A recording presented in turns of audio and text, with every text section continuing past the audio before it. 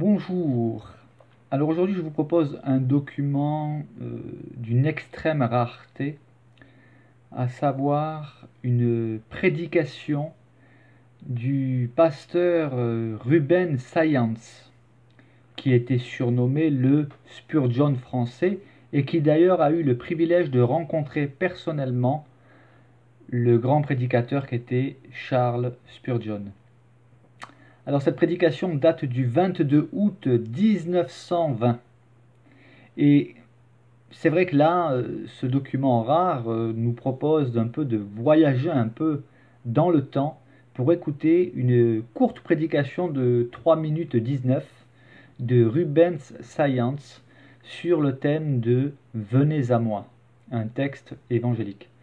Euh, je tiens à préciser que ce document se trouve sur le site gallica, g a l i c hein, si, vous, si vous tapez dans, Google euh, Ruben Science, euh, document rare, vous, vous, arriverez sur ce site internet. Et j'ai eu à cœur de faire cette vidéo pour sauvegarder ce document rare si un jour par mégarde pour une quelconque raison, euh, le document ne venait qu'à disparaître. Voilà. Je vous souhaite à présent d'écouter très attentivement euh, cette prédication d'un autre temps, d'une autre époque. Que le Seigneur euh, nous bénisse ensemble. En tout cas, moi, ce message simple m'a fait du bien et surtout intéressant de voir comment pouvait prêcher Ruben Science à cette époque-là.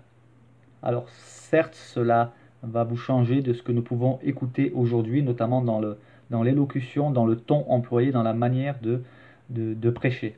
Mais vous verrez, je vous laisse découvrir. Venez à moi, vous tous qui êtes fatigués et qui ployez sous le fardeau, et je vous soulagerai. Prenez mon joug sur vous et recevez mes instructions, car je suis doux et humble de cœur, et vous trouverez du repos pour vos âmes. Lorsque Jésus prononça ces paroles, il n'avait pour auditeur que quelques paysans de la Galilée. Aujourd'hui, traduites dans toutes les langues, elles sont connues, répétées et comprises par des millions d'âmes dans le monde entier. Et depuis 2000 ans, des multitudes innombrables ont répondu à cet ordre miséricordieux et trouvé dans cette parole des consolations infinies. Venez à moi. Qui parle ainsi? C'est Dieu lui-même, Dieu qui s'est fait homme pour se rendre accessible à tous. Sa vie miraculeuse, sa mort mystérieuse, sa résurrection corporelle attestée par des témoins qui ont préféré mourir plutôt que de se taire, tout nous prouve à la fois sa divinité et la réalité de son œuvre rédemptrice.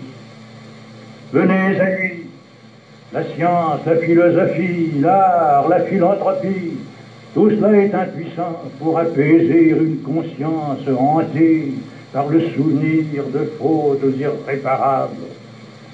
Venez à lui, plaisir, richesse, honneur, joie pure de la famille et de l'amitié. Rien de tout cela ne peut satisfaire le cœur, altéré de pureté, de réalités éternelles et d'un amour infini. Venez à lui, aucun prêtre, aucun saint, mort ou vivant, ne pourrait vous aimer comme Jésus vous aime. Et ce serait l'offenser que de recourir à des médiateurs entre nous et lui, comme s'il était trop redoutable pour qu'on ose l'approcher.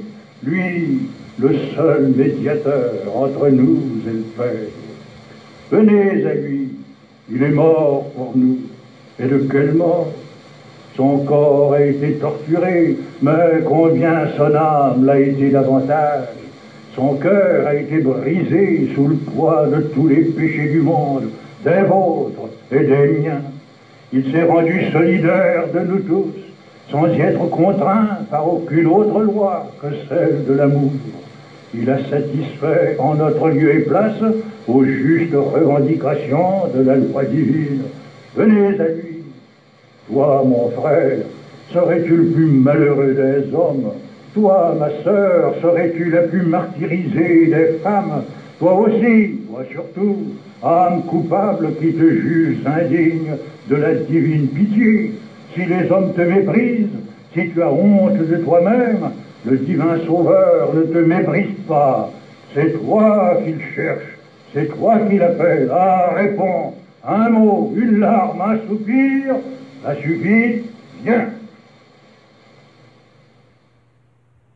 Voilà, c'était un court message. Alors vous avez pu remarquer que le son n'est vraiment pas de très bonne qualité, étant donné qu'il s'agit d'un très vieux document, un document vinyle.